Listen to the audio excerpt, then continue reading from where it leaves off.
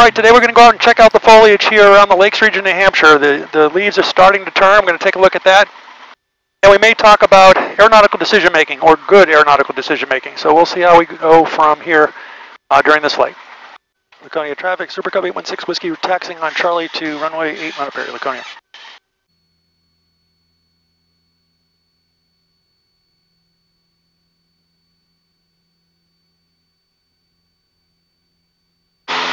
Uh, it's a beautiful day today. Not a cloud in the sky, not that much haze. We've had a tremendous amount of haze for the past week. Good to see that it's somewhat cleared up. Looking over my right wing, I do see some foliage in the kind of more wetland areas. At first uh, glance, not a lot of foliage here around the southern part of Lake Winnipesaukee. But we'll go a little bit further north and check out into the uh, Sandwich Mountain areas, Ossipee Mountain areas. Actually, I should say, looking off the Ossipee Mountains right now, I do see a lot more color on top of that. We'll head over in that direction. Not a lot of traffic out here today. We're now October 2nd, and it's a Monday, and just pretty quiet looking lake. Yeah, I wanted to talk briefly about good aeronautical decision making. Uh, we've had a lot of haze here this past week, and it's definitely been difficult uh, seeing. Pretty low visibility, not the greatest at daytime, certainly not in the evening. Certainly not in the evening. And when we're doing our flight planning and doing risk assessment, risk assessment, um, besides looking at our own possible poor attitudes for certain things and knowing how to come up with anecdotes for those, uh, we also need to look at um, the four categories, PAVE if you remember correctly from your training. Uh, the pilot, the aircraft, the environment, and any external factors. Um, if the pilot is feeling ill in any way, the I'm safe checklist, if you will, uh, then uh, probably not a good day to go fly. Uh, the aircraft, there's maintenance issues, again, not a good reason to fly. We got aircraft issues. The environment, the haze that we talked about, just I talked about a minute ago. Very poor visibility during the day. Only you can see about 3,000, 4,000 feet uh, up before you can start losing the uh, ground. And then particularly worse in the evening. So if you're flying VFR in the evening, I highly recommend you consider um, the weather very carefully before you go out. Make sure your uh, aircraft is good, your lights are all working, and the visibility is proper. Even if it says it's VFR, pay uh, extra close attention to uh, the temperature and dew point spread, any mist, any haze that may potentially come along during your route of flight. And then the last factor is external factors. The last uh, category is external factors. If you have a deadline to meet um, as part of your flying or to get somewhere, uh, there's no reason to get anywhere when flying, to be honest. If you've got to stop and wait for better weather, wait, wait for your health to improve, you do that. You don't go out and fly um, when there's external factors that um, are putting you at risk. So if you follow that PAVE checklist and look at all the risks in each one of those categories um, and can't really mitigate them or transfer them, etc., probably not a good day to fly. Okay, off of my 2 o'clock here is the Ossipee Mountain Range, and we're certainly seeing some color out there today. I'm getting near 4,000 feet. I'll probably level off here. Get my cylinder temperatures down. They're a little bit warm here get herself leveled off and cooled off. Now, certainly in the kind of wetland areas, the color is starting to show. Uh, here on Moultonborough Neck Road, or Moultonborough Neck, I'm clearly seeing a lot of color in the wetland areas. And again, on top of the mountains, uh, particularly right now off my right, I can see Ossipee has got a lot of color at its peak. Right off my 12 o'clock, looking out over the Sandwich Mountains, uh, you can see there's a color up there as well. Not sure how far I'm going to get up in that area. The winds are kind of um, bumpy, and I know they're going to get worse when I get up into the mountains. I'm feeling it here as I'm here in the Ossipee Mountains. The winds are out of the uh, east, northeast, and so they're rolling over those Ossipee Mountains when I'm a little bit higher up, so I don't get any downdrafts and keeping it a little bit smoother. Looking off to my left, I see Squam Lake out in the distance. Not a lot of color out there. Off my uh, 1 o'clock, I see Whiteface Mountain right off, again, my almost my nose. And then maybe my 2 o'clock, I see Mount Chocorua. Those are the Whiteface is the kind of rock formation. In regards to ADM, again, in addition to doing the on-safe checklist on your own health, and the four categories under PAVE, uh, we also want to look at the three Ps, perceive, something going wrong, process if you need to do any something, and then perform if you got to do it. Uh, when you're looking at your risk, you want to sit there and analyze the risk. Can you mitigate those risks? Can you transfer those risks? Can you eliminate them? Can you live with what those risks are? Um, if those risks were to happen, are they catastrophic? Going over Moultonborough Airport, uh, I see my uh, friend's new experimental Super Cub on floats in the water down there at Ferry Pond. My former student got his private pilot license with me. I'll go up here just a little ways just to see some of the color showing up here in the uh, New Hampshire uh, White Mountains um, Valley area. Off to my off my nose is this town of Sandwich. That uh, Sandwich Fair is coming up here, I think this weekend. Foxtrot, turning downwind runway 35, Augusta. And off to my 2 o'clock is Ossipee. Yeah, it looks like we still got another week or two before color really starts to pop in the lakes region from what I can see. The mountains to the north, you can see Mount Washington right off my 12 o'clock. My other camera out here, see if I can get a better shot of that. Let's see if I can get a good picture out here without uh, dropping my camera outside the plane. And there is the center of Sandwich. Kind of sneak over toward it. You can see the fairgrounds is in the process of being assembled. All right, I think we're going to head back toward the lake. As I do this turn, you can really see some of the mountains out here off to my uh, left the Sandwich Mountains. Again, Whiteface at my 11 o'clock, 12 o'clock is Chocorua. And as we turn here, we'll go right next to the Ossipees. And there we have Moultonborough Airport, right off my 2 o'clock. And again, Lake Winnipesaukee out there in the distance.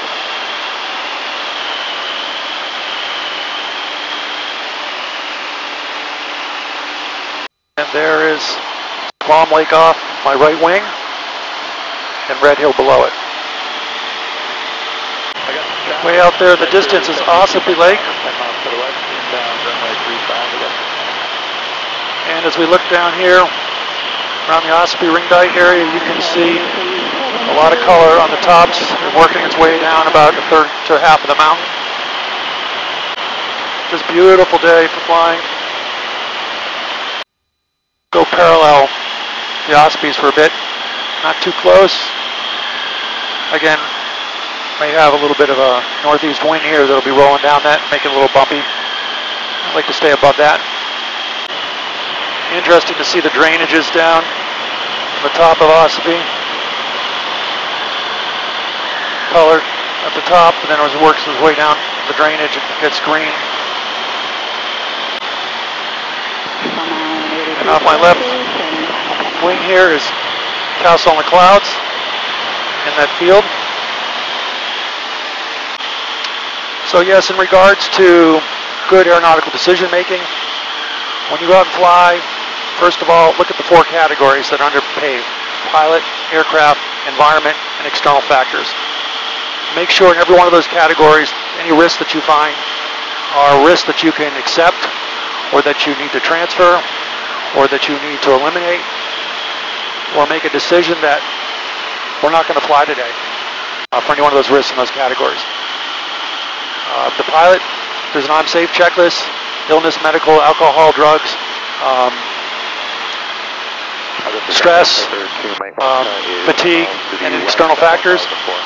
In regards to the aircraft maintenance issues, make sure you have no maintenance issues with the aircraft, that you've done a proper pre-flight before you've flown. Environment concerns, the weather. As I mentioned earlier, we've had a lot of haze this past uh, week. Tremendous haze. Once you get about three or 4,000 feet, you couldn't barely see the ground anymore.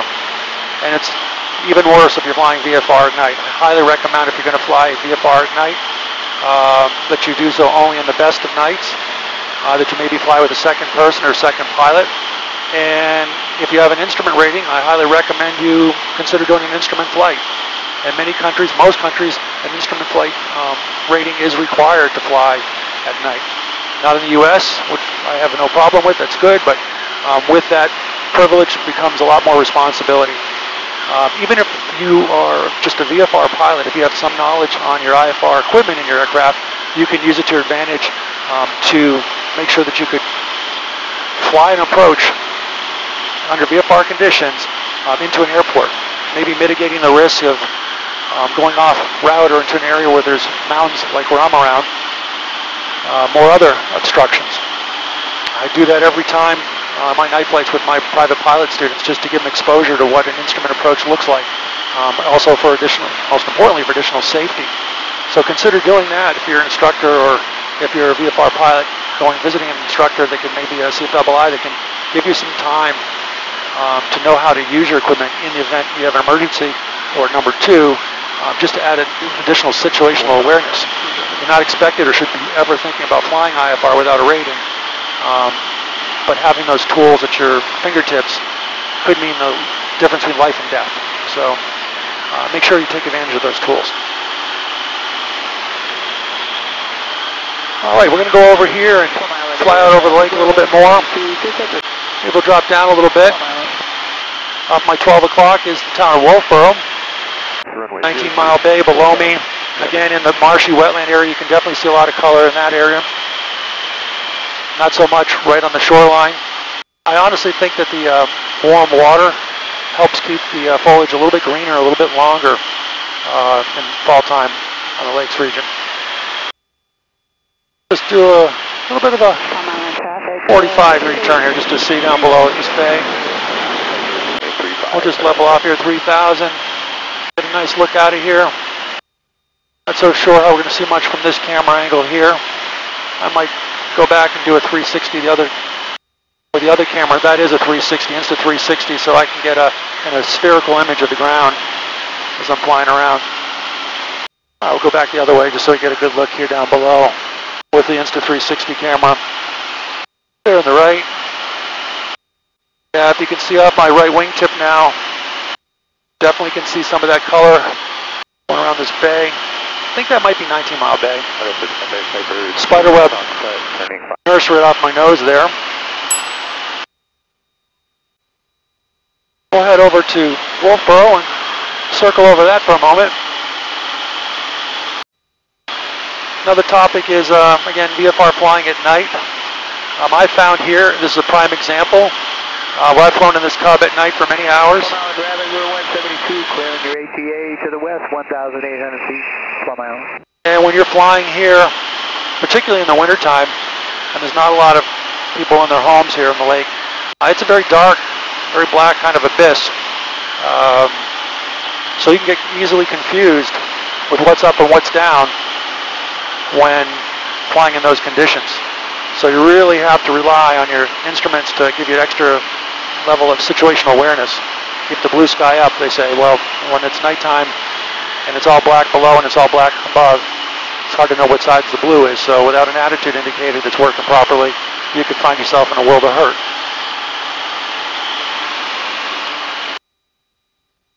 I find myself trying to follow lights at night, um, street lights, road lights, I'll try to stay over lit areas a little bit more so again I don't have to worry about some type of an illusion or getting confused on what's up, what's down.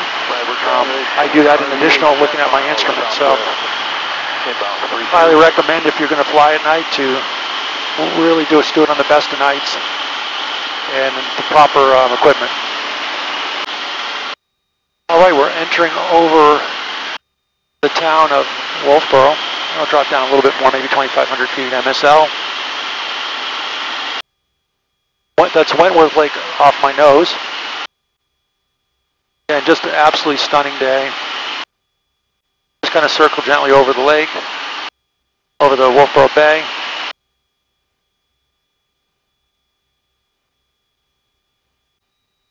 I'll just do a little bit of a steep turn around here and take a nice look around here.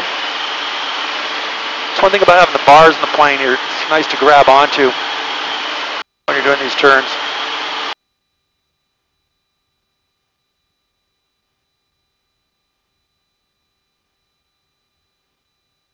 Like the downtown strip is got quite a line of traffic as usual. A lot more fun being up in the air, seeing the sights than on the on the ground.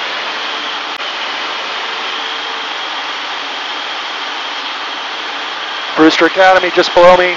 It's the BA private high school. See if I get a couple shots with the camera.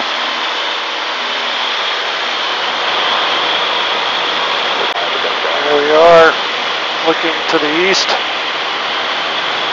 outside of Wolfeboro Bay. The old Wolfeboro Airport there. Nice little place for an emergency if you had to. Glad it's still wide open and not loaded with houses in the middle of it.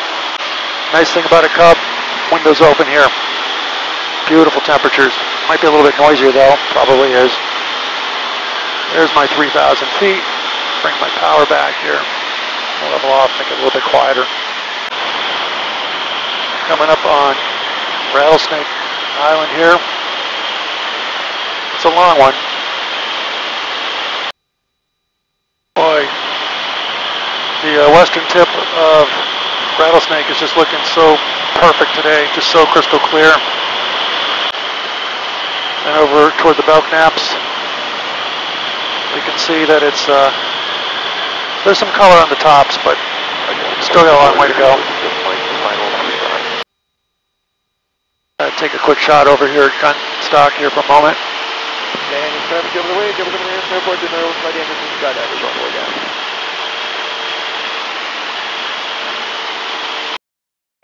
There's Governor's Island off my right. Take a dip there for a second. Let's stay coordinated. There it is.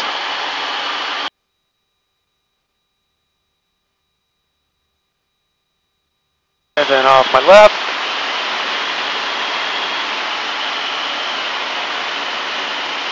Is Weirs Beach. Uh, looking out here a little bit more on the west side of the lake. Um, there is a, definitely yellow, quite a bit of yellowish tinge to the to the landscape. A little bit of red again in some of the wetter areas. And here we are in Meredith Bay. Off my uh, 11 o'clock is Waukewan Lake.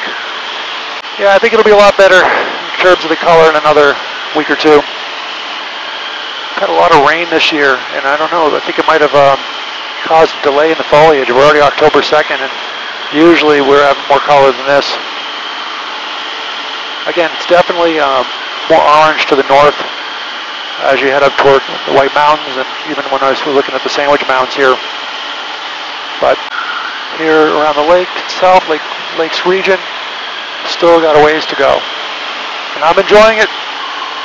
Who couldn't enjoy this? This is the best time of year. Uh, people ask me, how do I get the angles I do? Well, with the Insta360 camera, it's like a sphere, and it takes uh, basically a 360 by 360 um, image or video as it's recording, and then I can post-edit it to any angle I want to see, and then upload that into my main editor for integrating with the other camera video and the audio. So I'll just go over Meredith here. Uh, there's my ADS-B traffic. Nobody, nobody a factor here. Well, I think we're going to head back to the airport. Another turn over Meredith. And again, downtown Meredith here. Just a beautiful day.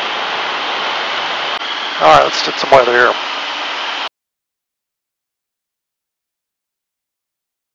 Laconia traffic, Super Cub 816 Whiskey Romeo, four and a half miles to the north, inbound for runway 8, Laconia. So if you enjoyed this video, consider hitting the like button and subscribing to the channel. I try to come out with these videos pretty regularly, and um, would appreciate that like and that subscribe. And if you have any feedback or comments, make sure to comment down below.